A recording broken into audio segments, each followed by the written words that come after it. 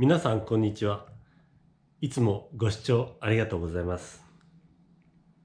この YouTube チャンネルでは庭木の剪定動画をたくさん上げていますが、その数も120本を超え、この中からご自分の見たい動画を探すのが少し大変になってきたかと思います。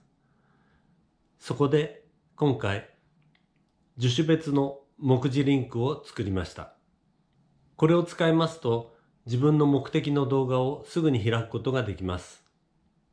チャンネルのトップページの右上にあるこちらのリンクボタンを押してください。あるいはチャンネルの概要欄の下の方にありますリンクからも同じところに行きます。このボタンを押しますとこちらの目次サイトに飛びます。ここからご希望の樹種を選び右側の番号をクリックすると瞬時にその動画が開くようになっています。